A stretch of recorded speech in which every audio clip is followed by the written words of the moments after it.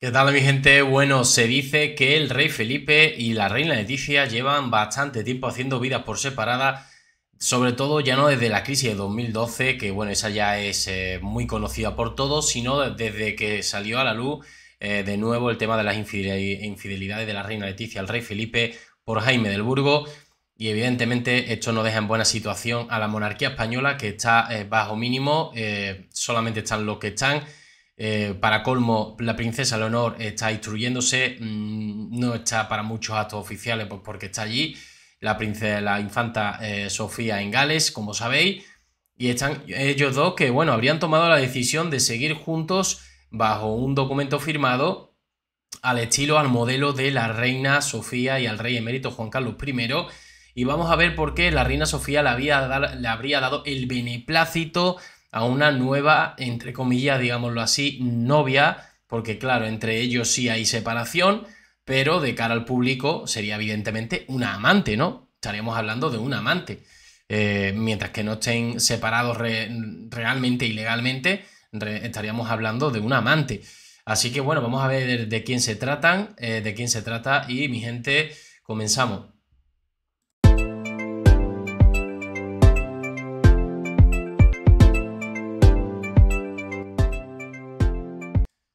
¿Quién mejor que una madre para que te dé el beneplácito de que la pareja con la que estás, pues bueno, le gusta o, le atrae, ¿no? Evidentemente nunca se ha llevado bien con la eh, reina Leticia desde antes de ser princesa y conocerla y, le pusieron bastante trabas eh, y es verdad que al final pues eso ha hecho que esa relación pues sea bastante turbia. Bueno, la reina Sofía bendice a la nueva amiga de su hijo, le gusta más que Leticia, de buena familia y millonaria. Felipe llevó a la nueva amiga especial a Sarsuela para presentársela a su madre y a la tía Pecu.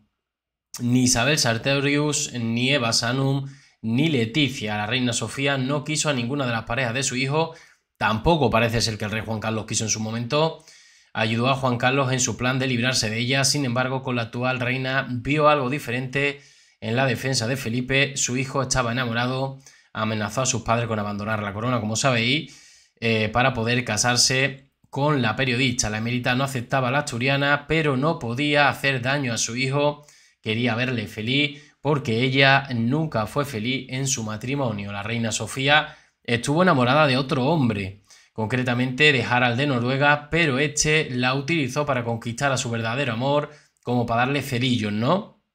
Bueno, él solo la veía como una amiga, con decepción la reina Federica la obligó a casarse con Juan Carlos, eh, aunque no le hacía mucha gracia, pero a él menos, hizo el esfuerzo por ser una buena esposa y formar una familia, pero el emérito nunca la quiso y le fue infiel, algo que ella nunca perdonó, estuvo a punto de divorciarse, pero su familia la obligó a volver a España con los niños y aparentar ser feliz. Bueno, la reina Sofía ya conoce a la rica heredera, la amiga especial de Felipe. Digamos que en tal caso esta no sería más, que una amiga si se la ha presentado porque han tenido algo y es alguien especial para él, entendemos, ¿no? Y, mientras que no haya divorcio o separación, estamos hablando de amante. No, no sé si de cuerno, porque entre ellos si está consentido desde hace mucho tiempo, pues no sé si consentido, pero sí que es cierto que de cara al público sería el amante, ¿no?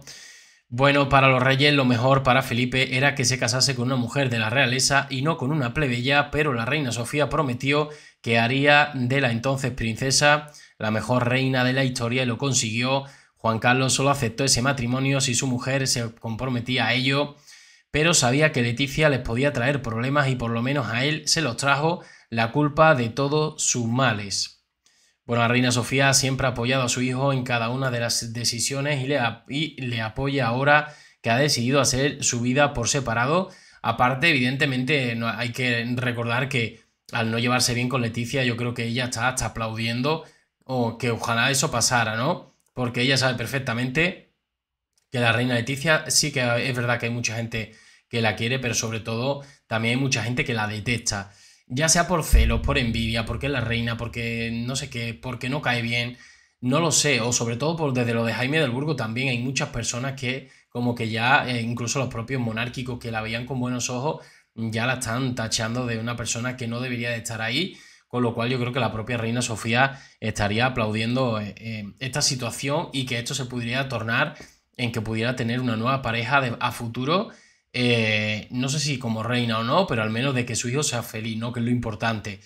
Yo no creo que se tambalee el reinado porque el rey reine solo, ¿vale? Dicho esto. Bueno, con su madre tiene mucha confianza y es la primera persona a la que le contó que la cosa con la madre de sus hijas no estaba bien y que iban a eh, optar por separarse. De hecho, como habéis visto, no paran de hacer vías por separado.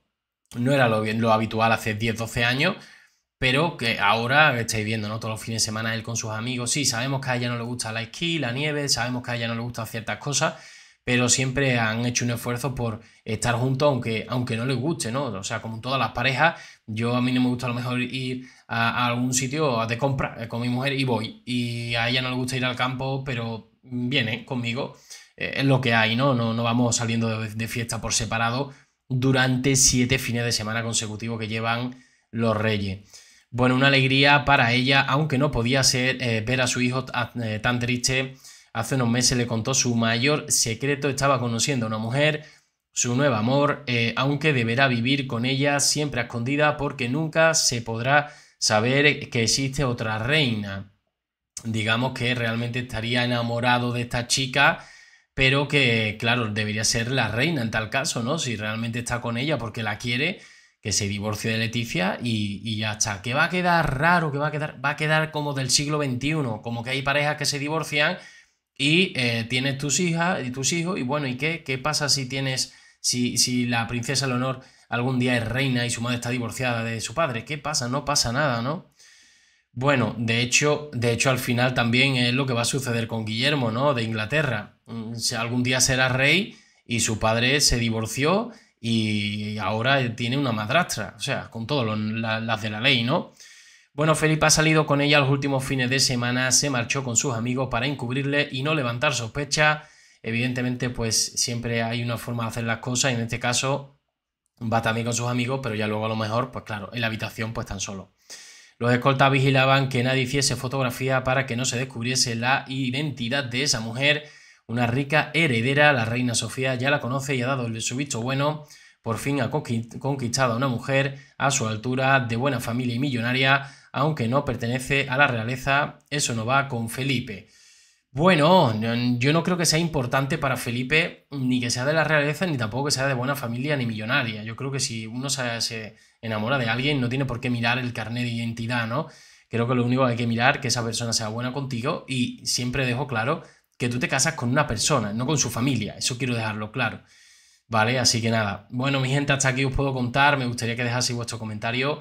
Nos vemos en el siguiente vídeo con más información, mi gente. Un saludo.